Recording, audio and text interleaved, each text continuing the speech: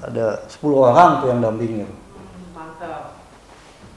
Ya Bismillah lah kita minta doa ya juga kepada masyarakat Indonesia bahwa kasus ini Bisa eh, diselesaikan bisa secara kekeluargaan, gitu. Kang Teddy bisa meneruskan hidupnya, pihak keluarga sana juga eh, bisa hidup damai. Iya, karena saya sendiri awam tentang hukum masalah apa yang berhubungan dengan beginian gitu. Tadinya saya sih nggak nggak mau ngebahas ini, cuman kemarin kan dipanggil dari pihak lawyer eh, apa almarhumah sama Aiki-nya gitu. Jadi saya sendiri lebih baik ya udah dikuasain lagi karena lebih biar apa ya biar beliau yang udah tahu ngerti hukumnya gimana biar beres semuanya terus nggak ada masalah lagi lah Kang Teddy mau lapor nggak nggak kan? Enggak, Tuh, nggak. ya udah kemarin kasusnya udah ditutup, Ditutup, udah gitu. Cuman sekarang buat biar uh, apa ya? Karena saya awam, jadi saya langsung tunjuk kuasa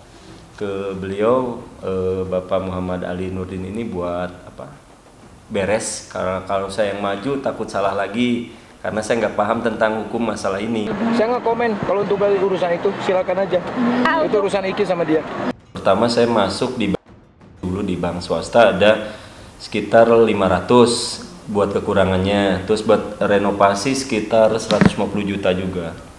Gitu. Terus kemarin ya ditanyain sama lawyernya Aiki buat inventarisir semuanya udah saya jelasin juga. Eh, tadi saya sudah komunikasi dengan lawyer pihak sana. Kita akan ketemu di hari Selasa atau hari Rabu.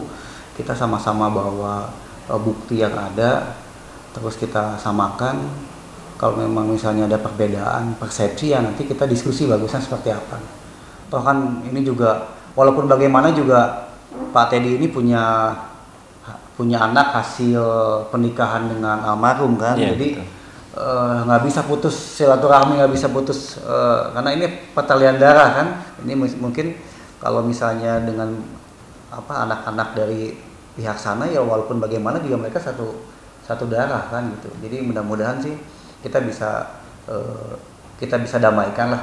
Saya pikir tidak usah khawatir ini akan hilang ya karena memang tidak mungkin misalnya saudara Teddy menjual tanpa tan- tanpa eh, tanda tangan dari ahli waris atau tanda tangan dari dari misalnya ada surat kuasa jual atau apa. Itu, kayaknya nggak mungkin ya karena saya sudah tanya tadi bahwa semua bukti-bukti dan hak kepemilikan itu sudah aman dan kuncinya bukan di beliau juga kuncinya di di putri ya. Iya, kuncinya di- disimpan di gitu Putri. jadi jangan sampai ada ketakutan bahwa eh, Teddy akan menggelapkan lah atau Teddy akan menjual lah memang ini jual pisang goreng kan bukan masih ada ada notaris yang terlibat ada pejabat PPAT yang terlibat itu tidak segampang itu untuk menjual aset eh, terutama soal benda tidak bergerak dalam dalam wujud rumah gitu Ayah dari anak-anak ah, melihat tentang harta guna gininya gimana ah? Anak-anak konsul nggak sih ah? oh, itu bukan urusan saya. Tapi anak-anak konsul nggak ah? Bukan urusan anak saya. Anak-anak saya tidak mempermasalahkan tentang hal itu. Benar. Itu kan urusan dia. Terus sama saya apa? Kan ah selaku ah, ayahnya gitu. Oh, selaku Mendengar ayah, itu seperti apa? selaku ayahnya juga kan akan eh, kelihatan sensitif karena saya bukan siapa-siapa di sini. Jadi itu udah urusan Iki. Jadi tanyanya sama Iki bukan. Tapi kan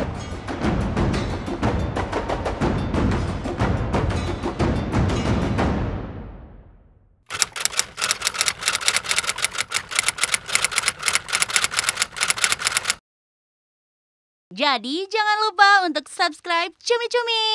Ditekan ya tombol lonceng merahnya.